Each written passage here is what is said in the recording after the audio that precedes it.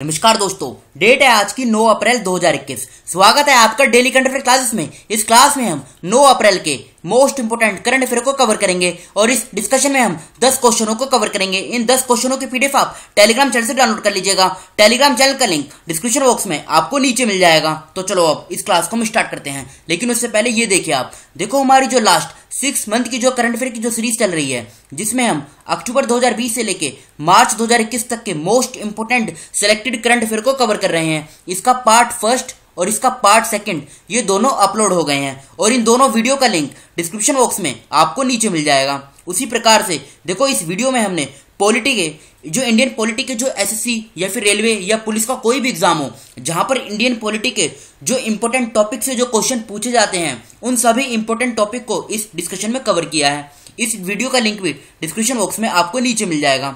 और देखो, एक अनाउंसमेंट हो रहा है। आज से इसी क्लास से हम स्टैटिक जीके भी स्टार्ट कर रहे हैं। वीडियो के आखिरी में हम स्टैटिक जीके के कुछ इंपोर्टेंट टॉपिक को कवर करेंगे डेली जैसे आज हम स्टार्ट कर रहे हैं पॉलिटी से, और पॉलिटी का जो सबसे इंपॉर्टेंट टॉपिक है एजीआई एजीआई का मतलब क्या है? अटॉर्नी जनरल ऑफ़ इंडिया इनके बारे में हम समझेंगे। तो चलो अब इस क्लास को हम स्टार्ट करते हैं। इस वीडियो को आप आखिरी तक देखिएगा। तो पहला क्वेश्चन क्या है? देखो फ़र्स्ट क्वेश्चन में यह पूछा गया है कि 7 अप्रैल 2021 को किस देश के रक्षा मंत्री लेफ्टिनेंट जनरल नाम क्या है? Nurlan Yermekbayev. फिर से बोलता हूँ नूरलान यरमेक बेव ने जोधपुर और जैसलमेर का दौरा किया। तो बताइए, इस क्वेश्चन का क्या आंसर सही है? तो देखो, जैसे कि आप जानते हैं कि, कजाकिस्तान कजाकिस्तान के जो डिफेंस मिनिस्टर हैं, नाम क्या है? नूरलन यरमेक बेव ये भारत की चार दिवसीय यात्रा पर आए हुए हैं और इन्होंने 7 अप्रैल 2021 को राजस्थान के जोधपुर और जैसलमेर यहाँ का दौरा किया। तो ए, इस क्वेश्चन का सही आंसर है कजाकिस्तान। और देखो, इस चीज़ पे फोकस किस चीज़ पे किया जाएगा? इस मीटिंग का। तो फोकस होगा दोनों देशों के जो बायोलेटरल डिफेंस कॉपरेशन है ना, इसको एनहेंस करना मतलब इनको इंक्रीज करना और 9 अप्रैल 2021 को ये भारत के जो डिफेंस मिनिस्टर हैं, राजनाथ सिंह, इनके साथ मुलाकात भी करेंगे। तो ए, इस क्वेश्चन का सही आंसर है, कजाकिस्तान। अब कजाकिस्तान की एक बार आप लोकेशन देख लीजिए कहाँ पर है। देखो, ये है कजाकिस्तान। इसकी अगर हम कैपिटल की बात करें तो कैपिटल क्या है? देखो, यहाँ पे लिखी हुई है, नूर सुल्तान। ये कैपिटल है लार्जेस्ट सिटी क्या है? अलमाटी। करेंसी क्या है? कजाकिस्तानी टेनेज प्रधानमंत्री कौन है? Askar Mamin. ये प्रेसिडेंट है, केसिम जोमाट टोकाये देखो, इस प्रकार के नाम एग्ज़ाम में कम पूछे जाते हैं, लेकिन फिर भी एक बार नज़र में हो तो ये अगर ऑप्शन में दिया जाएगा तो आप इसको इजीली सॉल्व कर सकते हैं। अब देखो, कजाकिस्तान जो है, यहाँ से आप दो तीन फैक्ट याद रखेगा। क्या? एक तो इसकी सीमा कैस्पियन सी के साथ लगती है, ये देखो यहाँ पर है, कैस्पियन सी। दूसरा, यह है एरल सी। एरल सी, कजाकिस्तान और उज्बेकिस्तान, इन दोनों के बॉर्डर पे है।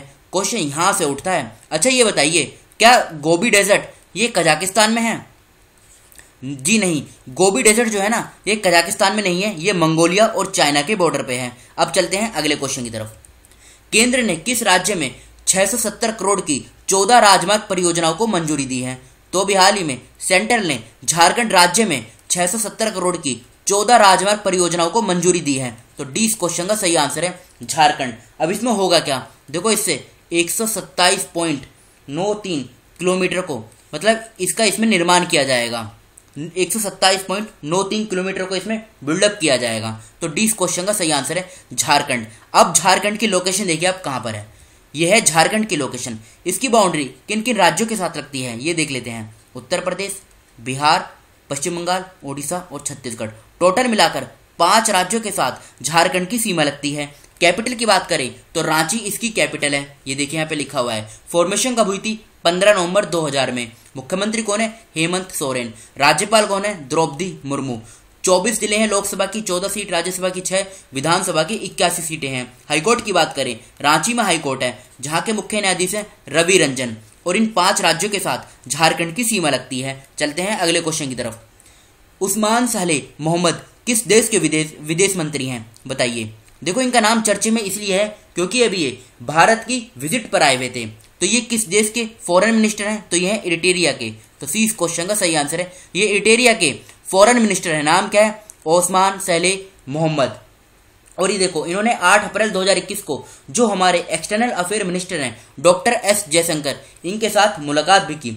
फोकस भी इनका उसी चीज़ों पे है कि दोनों देशों के जो रिलेशन है, उसको एनहेंस करना। अब एक बार आप इटेरिया की लोकेशन देख लीजिए। कहाँ पर है इसकी लोकेशन देखो, यह है एटेरिया की लोकेशन इसकी अगर हम आसपास के मतलब जो आसपास की, इसकी लोकेशन है उसके बारे में बात कर लेते हैं। इधर रेड सी है इधर सूडान इधर डिजुबुत जिबूती इधर इथियोपिया अब पूछा जाता है इसकी कैपिटल क्या है? तो देखो इसकी कैपिटल है असमारा क्वेश्चन यहाँ से पूछा जाएगा। अब देखो लगे हाथ यहीं पे जो मैप की लोकेशन है मैपिंग उसको भी हम कवर कर लेते हैं। ये रेड सी है और इधर है गल्फ ऑफ़ एडन इन दोनों के बीच में यहाँ पर एक स्टेट है। इस स्टेट का नाम क्या है? इस स्टेट का नाम है बावल मंदेव स्टेट उसी प्रकार से ये पर्शियन गल्फ है और यहाँ पे है गल्फ ऑफ़ ओमान और यहाँ पे जो स्टेट है, यहाँ पे देखिए, इस स्टेट का नाम क्या है? स्टेट ऑफ़ हॉर्मूज यहाँ पर है स्टेट ऑफ़ हॉर्मूज और नीचे है बाबल मंदेव स्टेट अच्छा ये बताइए हॉर्न ऑफ़ अफ्रीका इसके बारे में आपने सुना होगा। इसमें चार देश आते हैं। क्या एटेरिया इसका पार्ट है या नहीं? इस क्वेश्चन का आंसर आप बताइएगा कमेंट बॉक्स में खुद से कि हॉर्न ऑफ़ अफ्रीका में कितने देश आते हैं और क्या एटेरिया इसका पार्ट है या नहीं? अब चलते हैं सीधा अगले क्वेश्चन की तरफ़। किस आईआईटी के शोधकर्ताओं के एक समूह ने डेंगू के शीघ्र निदान के लिए एक उपकरण विकसित किया है? तो अभी हाल ही में आईआईटी दिल्ली के जो देखो रिसर्चर्स हैं, इनका एक ग्रुप है, जिसने डेंगू का पता लगाने के लिए एक डिवाइस को, एक डिवाइस को डेवलप किया है। तो ए इस क्वेश्चन का सही आंसर है। अब इससे होगा क्या? एक घंटे के अंदर ही डेंगू का पता लगा लिया जाएगा। अभी क्या होता है? एक दिन का समय लग जाता है डेंगू का पता लगाने के लिए। तो ये जो डिवाइस है, ये आईआईटी दिल्ली ने मतलब आईआईटी दिल्ली ने डेवलप किया है किसके कोलेब्रेशन के साथ? तो कोलेब्रेशन किसका है? आईसीएमआर ध्यान से सुनिएगा। आईसीएमआर एनआईएमआर अभी जो एनआईएमआर है, इसका मतलब क्या है? National institute of malaria research और ये कहाँ पर स्थित है? ये दिल्ली में स्थित है। तो ए इस क्वेश्चन का सही आंसर है। देखो, ये इंस्टीट्यूट भी पूछा जा सकता है। ये दिल्ली में स्थित है। अब बढ़ते हैं हम अगले क्वेश्चन की तरफ़। इंटरनेशनल एयर ट्रांसपोर्ट एसोसिएशन जिसका शॉर्ट नाम क्या है? IATA के अनुसार, फरवरी 2021 में वैश्विक यात्री यातायात यातायात फरवरी 2020 की इसी अवधि की तुलना में कितना प्रतिशत गिर गया है? तो ये कितना गिरा है? 89 परसेंट। ये इस क्वेश्चन का सही आंसर है। इंपोर्टेंट क्या है यहाँ पे? आई A T A I A T A का पूरा नाम क्या है? देखो, पूरा नाम है इसका इंटरनेशनल एयर ट्रांसपोर्ट एसोसिएशन इसको फॉर्मेशन कब किया गया था? इस बॉडी का गठन जो हुआ था, ये हुआ था 1945 में। क्वेश्चन यहाँ से उठेगा। 1945 में इस बॉडी का गठन हुआ था। ये इंटरनेशनल ट्रेड एसोसिएशन है। एक क्वेश्चन आप याद मतलब एक पॉइंट ये याद रखेगा। दूसरा, इसका मुख्यालय, यानी हेडक्वार्टर ये कहाँ पर है? तो ये Montreal M O N T R E L और ये मॉन्ट्रियल कहाँ पर है? ये कनाडा में है। कनाडा में, जहाँ पर क्यूबेक है ना क्यूबेक के अंदर ये है मॉन्ट्रियल तो ए इस क्वेश्चन का सही आंसर है 89 परसेंट चलते हैं अगले क्वेश्चन की तरफ़। किस राज्य यूटी ने लैब ऑन व्हील्स कार्यक्रम शुरू किया है? तो भी हाल ही में दिल्ली यूटी ने मतलब ये जो दिल्ली केंद्र शासित प्रदेश है। इसने लैब ऑन व्हील्स प्रोग्राम को स्टार्ट किया है। इसका मकसद क्या है स्टार्ट करने का? अगर हम आसान भाषा में समझें तो देखो, रूरल और बैकवर्ड एरियाज़ में जो स्टूडेंट है ना, उनको क्वालिटी ऑफ़ एजुकेशन प्रोवाइड कराना, ये इसका मेन फोकस है। तो बीस क्वेश्चन का सही आंसर है डेली। चलते हैं अगले क्वेश्चन की तरफ़। किस देश ने ताड़ के तेल के आयत पर प्रतिबंध लगाया है? तो ये किसने लगाया अभी हाल ही में? ये लगाया श्रीलंका ने। श्रीलंका ने पाल्म ऑयल के जो इम्पोर्ट है, इस पर बैन कर दिया है। अब श्रीलंका की एक बार आप लोकेशन देख लीजिए कहाँ पर है। देखो यह है श्रीलंका की लोकेशन यहाँ पर। इसकी अगर हम कैपिटल की बात करें, दो कैपिटल है। एक क्या है? श्री जयवर्धनेपुरा कोटे। ये इसकी लेजिस्लेटिव कैपिटल है, दूसरी कोलंबो। ये इसकी जुडिशियल और एग्जीक्यूटिव कैपिटल है। और याद रखेगा, कोलंबो इसकी लार्जेस्ट सिटी भी है। करेंसी क्या है? श्रीलंकन रूपी प्रधानमंत्री कौन है? Mahida Rajapaksa.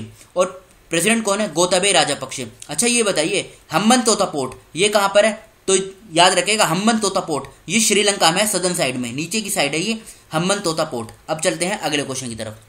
Hindustan Unilever limited H के सहयोग से अखिल भारतीय ग्रामीण उद्यन समिति एबीजीयूएस ने किस राज्य के ढिंगी? देखो यहाँ पे आएगा ढिंगी। यहाँ पे गलत लिख गया है, ढिंगी आएगा। ढिंगी गाँव में एक जल प्रबंधन परियोजना का उद्घाटन किया है। देखो अभी इससे पिछले क्वेश्चन में मैंने शायद हम्मन तोता ये गलत बोल था। हम्मन तोता पोर्ट है, याद रखेगा हम्मन तोता पोर्ट तो बताइए, इस क्वेश्चन का क्या आंसर सही है? इस एट्थ क्वेश्चन का। तो देखो भी हाल ही में, हिंदुस्तान यूनिलीवर लिमिटेड एच के सहयोग से अखिल भारतीय ग्रामीण उद्यन समिति ए ने पंजाब के, जो पटियाला में एक गाँव है, ढींगी गाँव, इस गाँव में एक जल प्रबंधन परियोजना का उद्घाटन किया है। तो याद रखेगा, इस क्वेश्चन का सी आंसर सही है, पंजाब। इसमें होगा क्या? अगर आसान भाषा में समझें तो देखो, जो वेस्ट वाटर वेस्ट वाटर है, इसका रिसाइकल किया जाएगा। इरिगेशनल पर्पसेस के लिए ग्राउंड वाटर को रिप्लेस किया जाएगा और रेन वाटर हार्वेस्टिंग की जाएगी। तो सी इस क्वेश्चन का सही आंसर है पंजाब। अब चलते हैं हम अगले क्वेश्चन की तरफ़। किस राज्य में राज्य के सभी सरकारी कार्यालय अगले तीन महीनों के लिए सोमवार से शुक्रवार तक सप्ताह में पाँच दिन काम करेंगे? तो भी हाल ही में कोविड नाइन्टीन के जो केस दिन पे दिन बढ़ रहे हैं। इसी को देखते हुए मध्य प्रदेश की सरकार ने यह फैसला लिया है। तो सी, इस क्वेश्चन का सही आंसर है मध्य प्रदेश। अब मध्य प्रदेश से संबंधित जो पिछला करंट अफेयर है, इसे हम कवर कर लेते हैं।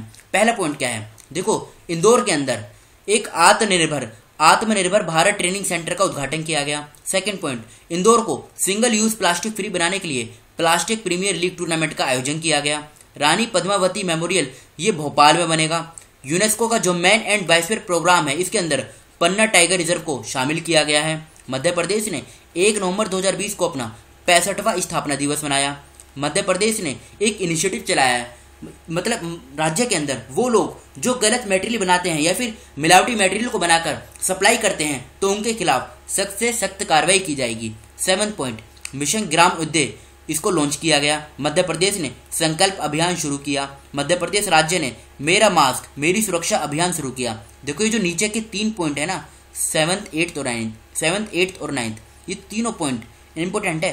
क्वेश्चन यहाँ से बन सकता है तो याद रखेगा मिशन ग्रामोदय संकल्प अभियान और मेरा मास्क मेरी सुरक्षा अभियान, इन तीनों को मध्य प्रदेश की सरकार ने लॉन्च किया है। चलते हैं अगले क्वेश्चन की तरफ़। भारतीय रेलवे ने 2020-21 के दौरान स्क्रैप बिक्री से कुल चार करोड़ रुपए कमाए, जो 2019-20 की तुलना में कितने प्रतिशत अधिक है? तो इस क्वेश्चन का सही आंसर है बी पाँच पॉइंट पाँच प्रतिशत।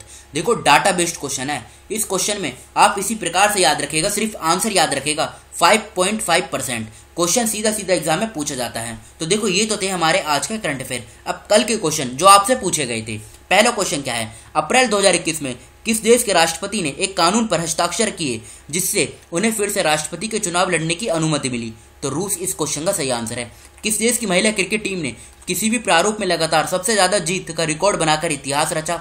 ऑस्ट्रेलिया इस क्वेश्चन का सही आंसर है। किस राज्य सरकार ने राज्य के सभी ज़िले में एयर सैलून लॉन्ड्री धोबी घाटों पर प्रतिमा 250 यूनिट तक मुफ़्त बिजली देने की घोषणा की? तो तेलंगाना इस क्वेश्चन का सही आंसर है। किस शहर में दो स्विफ्ट रोम लॉन्च किए गए?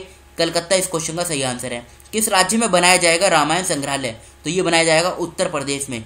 किस मंत्रालय ने संकल्प से सिद्धि लॉन्च किया? तो ये किया मिनिस्ट्री ऑफ़ ट्राइबल अफेयर्स ने। अब ये तो थे हमारे कल के क्वेश्चन अब आज के क्वेश्चन जिनका आंसर आपको बताना है, किस राज्य सरकार ने ई कॉमर्स प्रमुख फ्लिपकार्ट को एशिया में अपना सबसे बड़ा पूर्ति केंद्र स्थापित करने के लिए 140 एकड़ भूमि के आवंटन को मंजूरी दी है?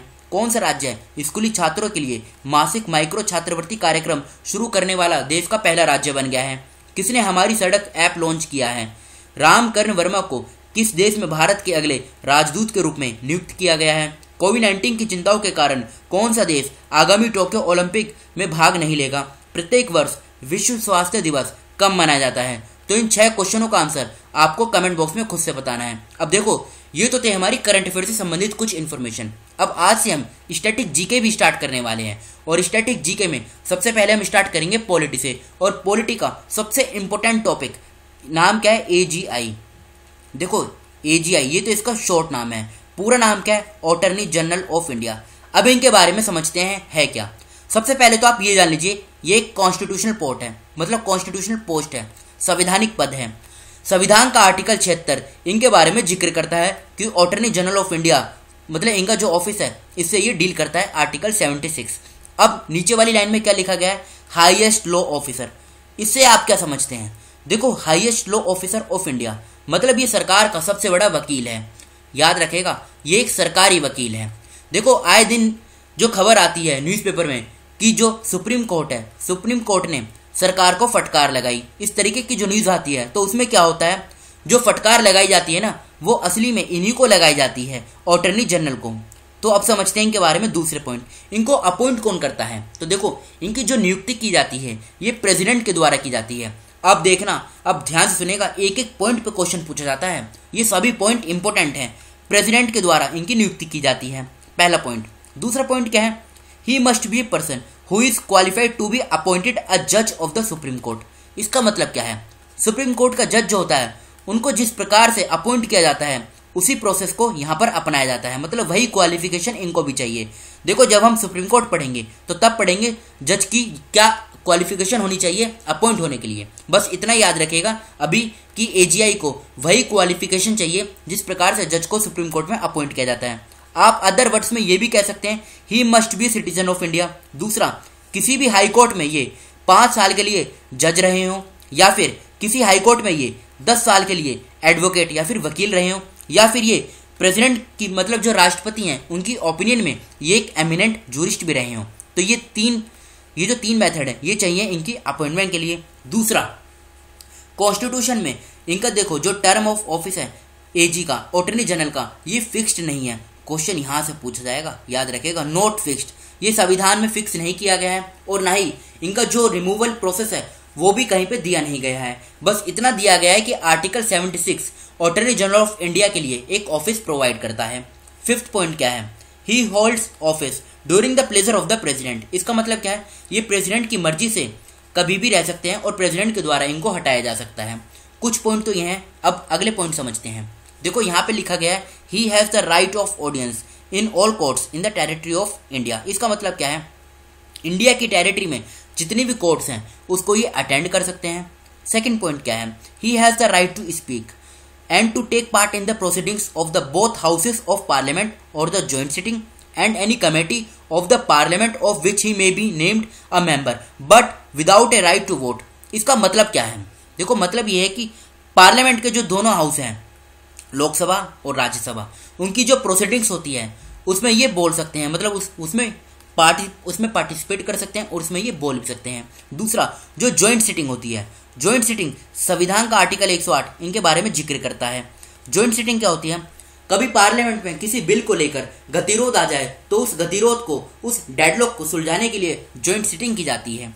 और दूसरा, कोई ऐसी कमेटी जिसमें इनका नाम हो, उसको ये अटेंड कर सकते हैं। लेकिन याद रखेगा, ये वोट नहीं कर सकते, इनको वोटिंग अधिकार नहीं दिया गया है इस पूरे प्रोसेस में। अब इधर समझते हैं।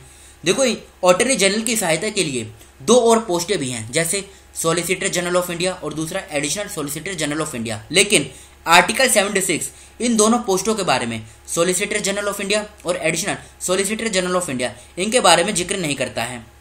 सिर्फ़ article 76 attorney general of India के बारे में ज़िक्र करता है मतलब उससे ये डील करता है। अब एजी जो ये अटॉर्नी जनरल ऑफ़ इंडिया है ना, ये सेंट्रल कैबिनेट के मेंबर भी नहीं है, ये भी आप याद रखेगा अब ये कुछ इंपोर्टेंट आर्टिकल है, जहाँ से क्वेश्चन पूछा जाता है। जैसे article 76 attorney general of India article 88 ये क्या काम करता है? पार्लियामेंट के हाउसेस और उसकी कमेटी उनसे संबंधित जो अटॉर्नी जनरल के अधिकार है, उनके बारे में ये बताता है। आर्टिकल 105 जिसमें power privileges and immunities of attorney general इनके बारे में बताई गई हैं। तो ये तो थी हमारी, देखो, आज की डिस्कशन देखो, इसमें हमने अटॉर्नी जनरल ऑफ़ इंडिया इनसे संबंधित जो भी क्वेश्चन बनेंगे, उन सभी को हमने कवर कर लिया है। अब इससे क्वेश्चन बाहर नहीं बनेगा।